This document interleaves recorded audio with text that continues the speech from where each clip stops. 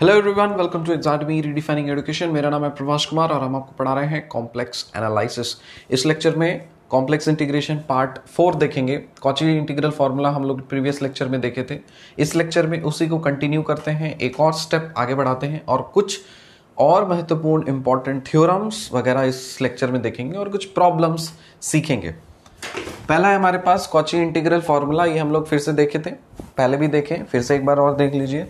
Let f of z be analytic inside और on a simple closed curve आपको पता है कि सिंपल क्लोज्ड कर्व क्या होता है?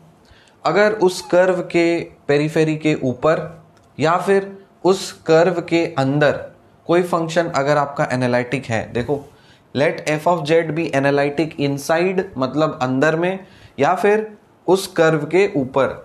कोई एक सिंपल क्लोज्ड कर्व लेते हैं। इस सिंपल क्लोज्ड कर्व के अंदर या फिर इसके बाउंड्री या पेरीफेरी के ऊपर अगर कोई फ़ंक्शन एफ़ ऑफ़ जेड आपका एगर एनालिटिक है and let a be any point inside और ऑन सी तो ए जो पॉइंट है वो कहीं पे भी इनसाइड में हो या फिर इसके ऊपर में हो, तब क्या बोल सकते हो? F of a is equal to one by two pi i close integration C f of z by z minus a d z तो ये वाला फॉर्मूला हम लोग सीखे थे। Where C is traverse in positive sense मतलब anti clockwise में उसको घूमना है। nth derivative of f of z ये इंपॉर्टेंट है। अगर आपको nth डेरिवेटिव निकालना है तो यहाँ पे एफ़ ऑफ़ ए आपने निकाल लिया ये। एफ़ एन ऑफ़ ए अगर आपको फाइंड करना है तो बस आपको क्या करना पड़ेगा? न्यूमरेटर में एन फैक्टोरियल को करना है मल्टीप्लाई और डिनोमिनेटर में जो जेड माइनस ए है, इसके पावर में देना है एन प्लस वन बस। तो ये वाला जो चीज़ है, इसको आप थोड़ा को गौर करिएगा। अगला है हमारे पास Cauchy's inequality suppose f of z is analytic inside और on a circle C of radius R and centre at z is equal to a मतलब अगर एक सर्कल है, जिसका सेंटर है ए और रेडियस है आर ठीक? इसी सर्कल के अंदर या फिर ऊपर इसके पेरीफेरी के ऊपर अगर कोई फ़ंक्शन एफ़ ऑफ़ जेड आपका एनालिटिक है, तब इस केस में जो आपका nth डेरिवेटिव ऑफ़ ए होगा, इसकी जो मैग्नीट्यूड है, वो हमेशा less than equal to m into n factorial by R to the power of n होगी where n is equal to zero one two three and so on यहाँ पे M क्या है? M is equal to constant such that mod of f of z is less than m on c. मतलब जो f of Z है उसका जो magnitude है that should be less than m. इसीलिए m को क्या बोला जाता है? Upper bound of f of z on C ठीक है? Suppose f of z is analytic inside or on a circle, c of radius r and center at z is equal to a. ये वाला graph बनाया मतलब ये diagram बनाया। एक circle जिसमें सेंटर है हमारे पास ए और रेडियस है हमारे पास आर अगर कोई फ़ंक्शन एफ़ ऑफ़ जेड इस सर्कल के ऊपर या फिर इस सर्कल के अंदर अगर एनालिटिक हो, तब इस केस में आपका जो nth derivative of f of a है मतलब एफ़ एन ऑफ़ ए इसकी जो मैग्नीट्यूड है that should be less than equal to m into n factorial by R form कुछ नहीं सिंपल एक फॉर्मूला याद रखना आपको। M into n factorial by R to the power of n जहाँ पे एम को बोला जाता है upper bound of magnitude of f of z n factorial divided by R to the power of n जहाँ पे आर क्या है? आपका रेडियस तो ये आपका कॉचीज इनक्वालिटी बहुत बहुत बहुत इंपॉर्टेंट है. क्वेश्चन आपके भर भर के आएँगे इससे. इसलिए आप ध्यान रखिए. अगला थ्योरम हमारे पास Liouville's theorem suppose that for all z in the entire complex plane सारे जेड के लिए मतलब आपके पास अगर कोई भी कॉम्प्लेक्स प्लेन है, पूरे कॉम्प्लेक्स प्लेन में सारे जेड के लिए अगर कोई फ़ंक्शन आपका एनालिटिक है और बाउंडेड है, ये दो कंडीशन अगर सेटिस्फाइड है बाउंडेड मतलब mod of f of z is less than m ठीक है? For some constant m then f of z must be a constant फिर से देखो लियोविलीज थ्योरम क्या बोलता है? Suppose that for all z in the entire complex plane सारे complex plane में सारे सारे जेड के लिए अगर एफ़ ऑफ़ जेड आपका एनालिटिक है और एफ़ ऑफ़ जेड अगर बाउंडेड है that is mod of f of z is less than m for some constant m then f of z must be a constant तो तीन चीज़ मैंने आपको बताया इसमें कॉचीज इंटीग्रल फॉर्मूला ये वाला एफ़ ऑफ़ ए निकालने का और एफ़ एन ए निकालने का, फिर कॉचीज इनइक्वालिटी ये है आपका इनक्वालिटी इसको आपको मेमोराइज करना है। और तीसरा लियोवलीज थ्योरम कि अगर आपका एफ़ ऑफ़ जेड एनालिटिक है और बाउंडेड है, तब इस केस में mod of f of z is less than m किसी कांस्टेंट एम के लिए, तब फिर आपका एफ़ ऑफ़ जेड जो होगा, वो भी एक कांस्टेंट होगा। ठीक है? इसको आप नोट करिए।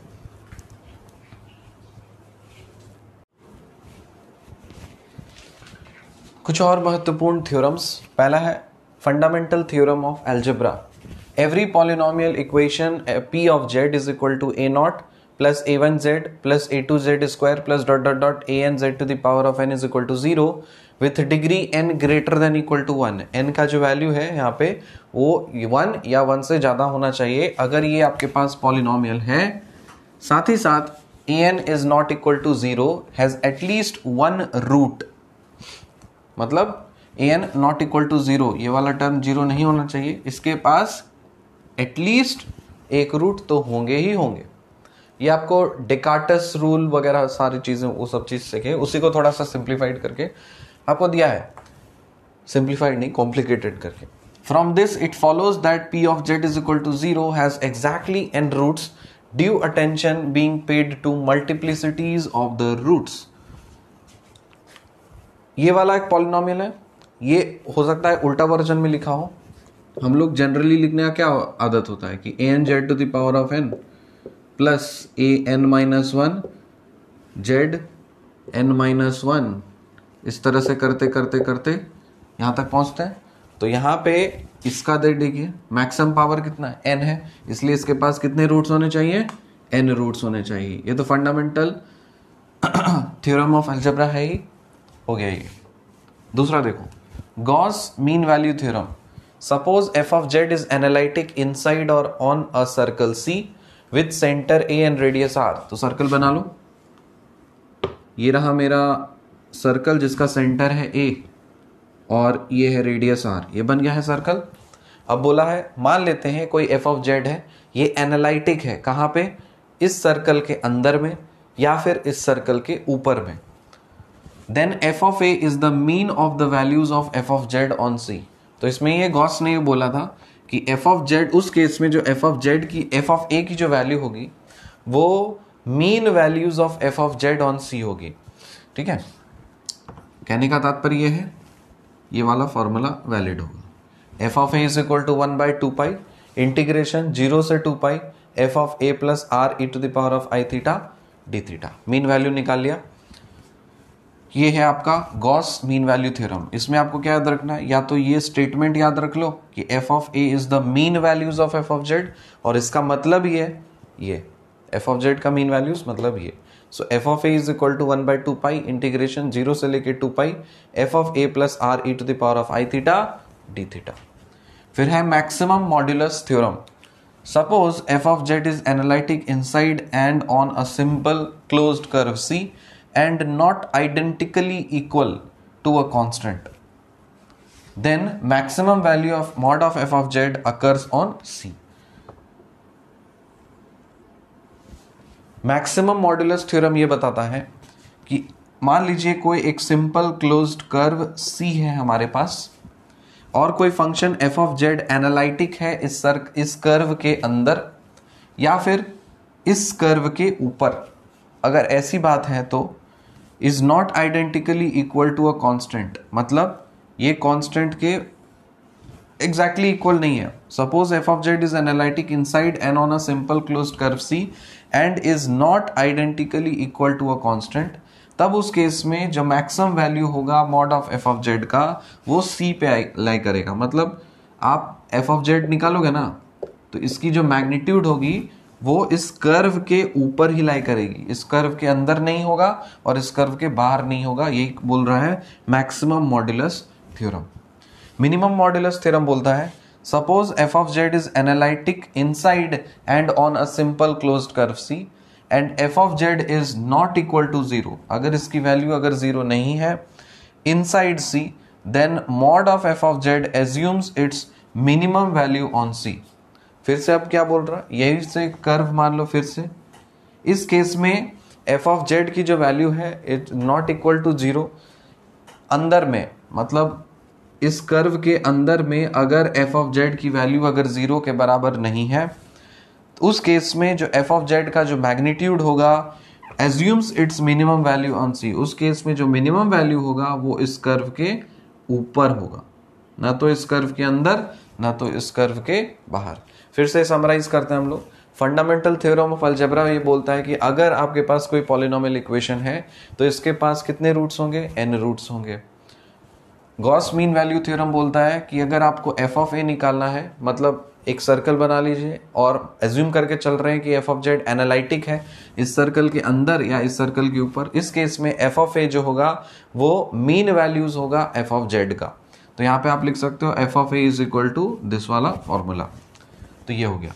फिर मैक्सिमम मॉड्यूलस थ्योरम कि अगर एफ़ ऑफ़ जेड एनालिटिक है किसी भी एक क्लोज्ड सिंपल क्लोज्ड कर्व के अंदर या उसके ऊपर and is not identically equal to constant और वो कॉन्स्टेंट के बराबर नहीं है then the maximum value of mod of f of z occurs on C तो इसका जो मैक्सिमम वैल्यू होगा ना मॉड ऑफ़ एफ़ ऑफ़ जेड वो कहाँ पे होगा? इस सी के ऊपर होगा। तो मैक्सिमम मॉड्यूलस थ्योरम हो गया।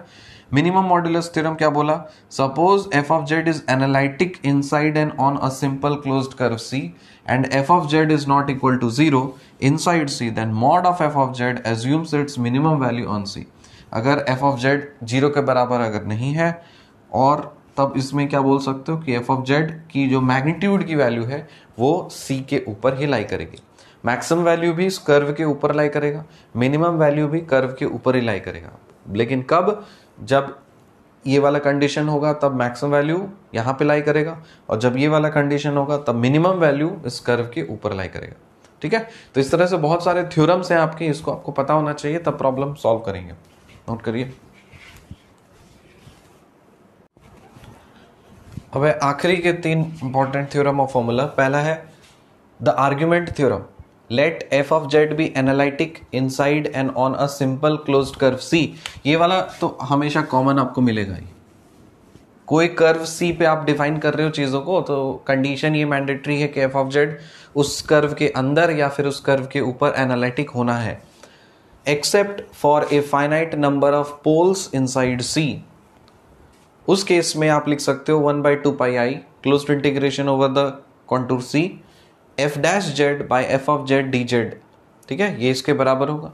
Equal to n minus p where n is the number of zeros of f of z inside C और p number of poles of f of z inside C pole मतलब singularities ठीक है? तो ये number of zeros निकालना आपको सिखाएँ। Number of poles यानी सिंगुलरिटीज निकालना आपको सिखाएँ। दोनों को सब्ट्रैक्ट करिए। जो कुछ भी वैल्यू आएगी, वो इस एक्सप्रेशन के बराबर होगी।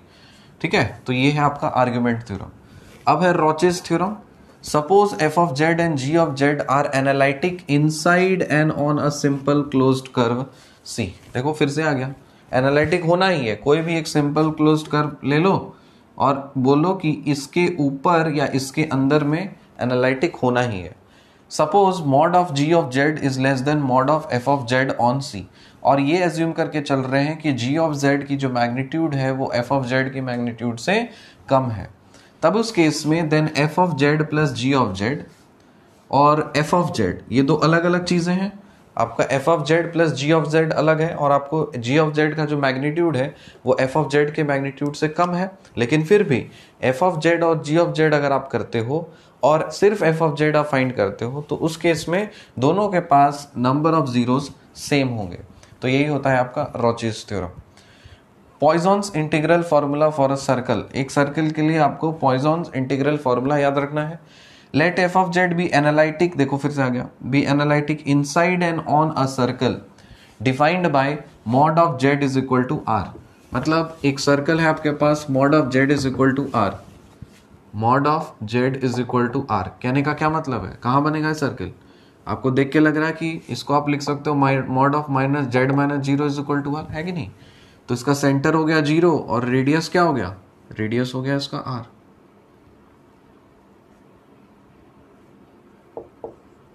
रेडियस हो गया आर आया समझ में? सेंटर हो गया ज़ीरो और रेडियस हो गया आर तो इसके लिए एक पॉइजन इंटीग्रल फॉर्मूला है। So let f of z be analytic inside and on circle defined by mod of z is equal to r then if z is equal to r e to the power of i theta is any point inside the circle, कोई भी मान लेते हैं, z एक point है जो कि इस सर्कल के अंदर में है। और आप बोल सकते हो z is equal to r e to the power of i theta ठीक है?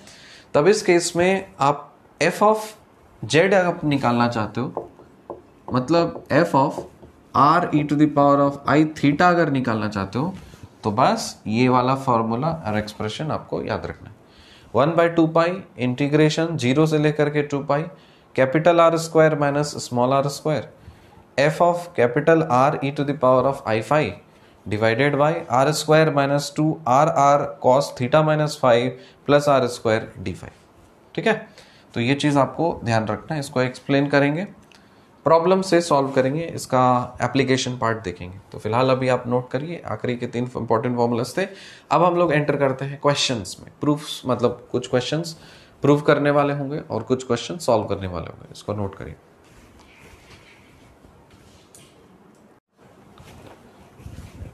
अब आते हैं हम लोग प्रॉब्लम सॉल्विंग में। एक एक प्रॉब्लम उठाएँगे और उसको आराम से खाएँगे, ठीक है?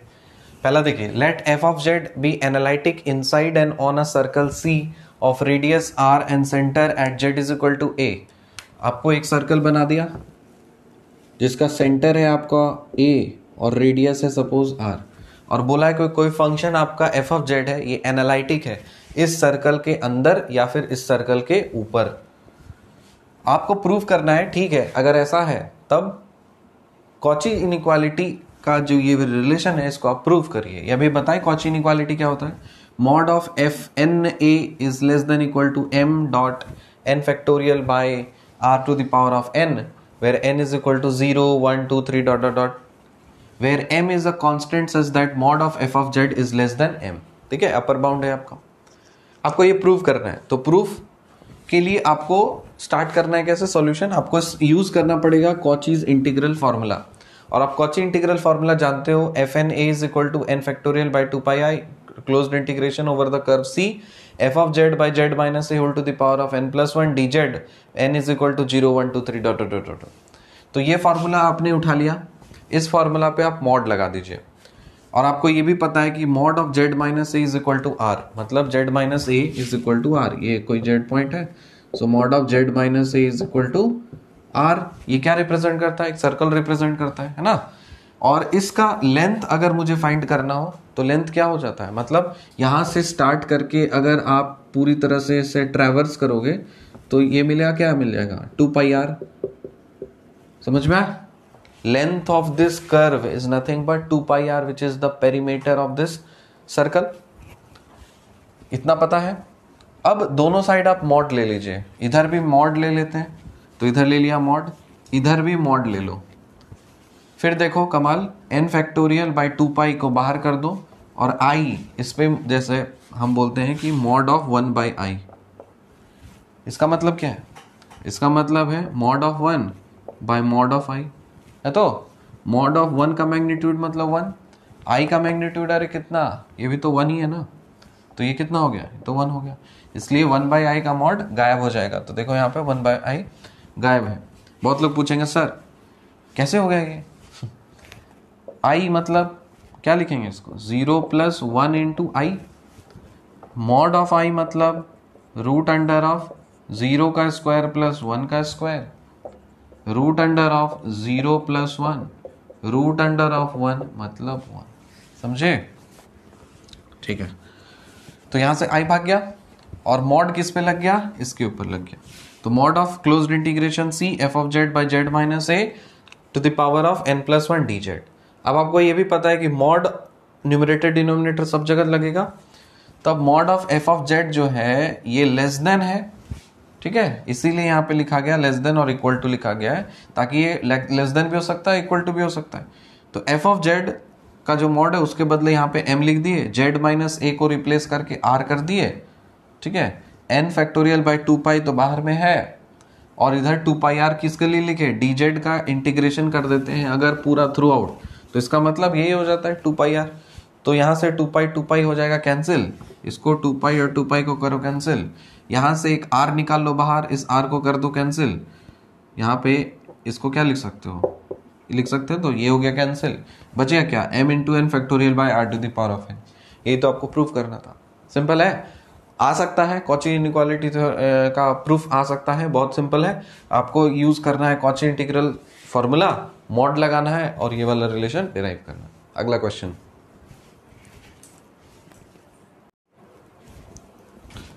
अगला सवाल है हमारे पास। Evaluate closed integration sine pi z square plus cos pi z square divided by z minus a into z minus two d z इसको आपको इवेल्युएट करना है। तो सिंपल सा चीज़, जैसे ये वाला जो चीज़ रहे ना, अंदर में मतलब डिनोमिनेटर में कोई भी प्रोडक्ट के टर्म्स में रहे तो ट्राई करो कि उसको अलग अलग कर दिया जाए। तो पार्शियल फ्रैक्शन से one by z minus one और जेड माइनस टू को लिखा जा सकता है। One by z minus two minus of one by z minus one separate हो गया है ये। अब ऊपर में क्या है? एफ़ ऑफ़ जेड है, ठीक है? तो उसको आप मल्टीप्लाई कर दीजिएगा इस चीज़ को तो आपको फाइनली क्या मिलेगा? ये वाला। समझ में आया कि नहीं? तो आपको ये वाला जो चीज़ है, इसको जब आप एक्सपैंड करेंगे इसके टर्म्स में तो आप बोलेंगे कि ऊपर न्यूमिनेटर को एक बार इससे मल्टीप्लाई करेंगे तो ये मिलेगा। और इस इंटीग्रेशन को मतलब इंटीग्रेशन वाले पार्ट न्यूमिनेटर को इससे मल्टीप्लाई करेंगे तो ये मिलेगा।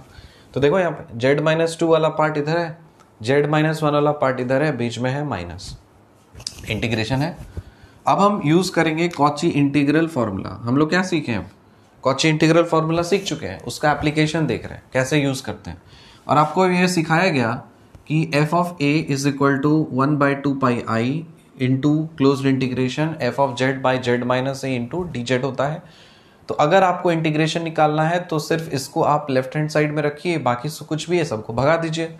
तो यहाँ से अगर हम बताएँ कि ए वाला इंटीग्रेशन फाइंड करना है तो obviously f of a times two pi i होगा, ठीक है? तो यहाँ पे टू पाई आई कर दिए मल्टीप्लाई एफ़ ऑफ़ ए कर दिए एफ़ ऑफ़ जेड है आपके पास ये। इससे जब आप कंपेयर करेंगे तो ए का वैल्यू कितना है? टू तो इसमें पुट कर दो। साइन पाई जेड स्क्वायर के जगह पे साइन पाई टू स्क्वायर हो गया। कॉस पाई जेड स्क्वायर की जगह कॉस पाई टू स्क्वायर हो गया। हो गया पहला पार्ट तो ये टू पाई आई मल्टीप्लाई कर दीजिए पहला। माइनस ऑफ़ फिर से इसके लिए भी तो वही होगा टू पाई आई लेकिन यहाँ पे ए का वैल्यू क्या आ जाएगा? ए का वैल्यू देखो यहाँ पे। यहाँ पे ए का वैल्यू है टू इसलिए यहाँ पे जेड के जगह पे टू पुट कर देंगे। और यहाँ पे ए का वैल्यू है वन इसलिए यहाँ पे जेड के जगह पे वन पुट कर देंगे। तो इस वाले टर्म को जब आप सिंप्लीफाई करेंगे तो sine pi into two square plus cos pi two square है। Minus two pi i sine pi into one square plus cos pi one square है। अब देखो टू स्क्वायर मतलब फोर तो साइन फोर पाई हो गया। टू स्क्वायर मतलब four तो कॉस फोर पाई हो गया। वन स्क्वायर मतलब वन मतलब साइन पाई हो गया। वन स्क्वायर मतलब वन मतलब कॉस पाई हो गया। ठीक है? टू पाई आई बाहर में है। Sine four pi plus cos four pi, minus two pi i time sine pi plus cos pi. और आपको पता है कि साइन फोर पाई क्या होता है? ये होता है ज़ीरो। कॉस फोर पाई क्या होता है? ये होता है वन। नहीं पता है तो कैलकुलेटर से कर लो। साइन पाई क्या होता है? ये होता है ज़ीरो और कॉस पाई होता है ये माइनस वन तो ज़ीरो प्लस वन यहाँ पे लिखा, ज़ीरो माइनस वन अंदर में लिखा। टू पाई आई को मल्टीप्लाई करना है इसके साथ में माइनस टू पाई आई को मल्टीप्लाई करना है इसके साथ में। तो two pi i into one तो two pi i minus of two pi i minus of ये तो minus minus plus so two pi i plus two pi i मतलब फोर पाई आई हो गया है इसका आंसर आसान है? आसान लगेगा इस तरह से। जब आप फंडामेंटल सीखते हो तो सब कुछ आसान हो जाता है। अगला क्वेश्चन देखिए।